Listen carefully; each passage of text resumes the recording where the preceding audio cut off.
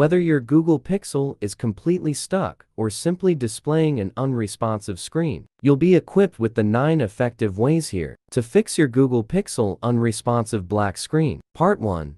Why is my Google screen black on phone? Dirty sensors, faulty third-party app, screen disconnect, screen hardware issue, firmware fault, overheating, physical blockage, outdated software, incompatible accessories, faulty operating system, defective Pixel device, low battery. Part 2. How to fix Google Pixel unresponsive black screen 8 tricks. Trick 1. Clean the Pixel and check the screen or LCD connection. Clean power button, press it. Clear charging port, blow or use toothpick. Squeeze phone sides, check for loose connections. Reset if needed to fix Pixel black screen. Trick 2.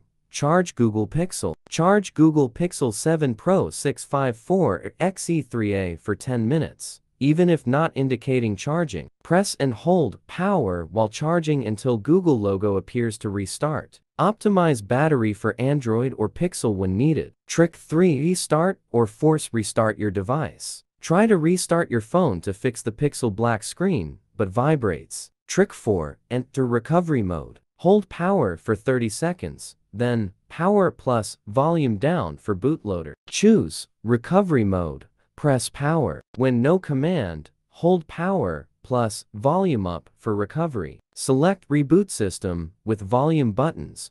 Press power to reset Pixel 7 Pro. Trick 5. Factory reset Pixel. Backup Pixel before a factory reset to avoid data loss. In settings, go to System Advanced, Reset Options. Choose Erase all data. Confirm PIN or pattern or password. Then tap Erase all data to reset to factory settings. Trick 6. Boot Pixel in safe mode. Long press power to start Google Pixel. When the logo appears, hold volume down until safe mode shows in the lower left corner. In safe mode, uninstall problematic apps causing conflicts. Trick 7. Contact Google support. What if your Google Pixel is physically damaged? Just go to its official website for professional assistance.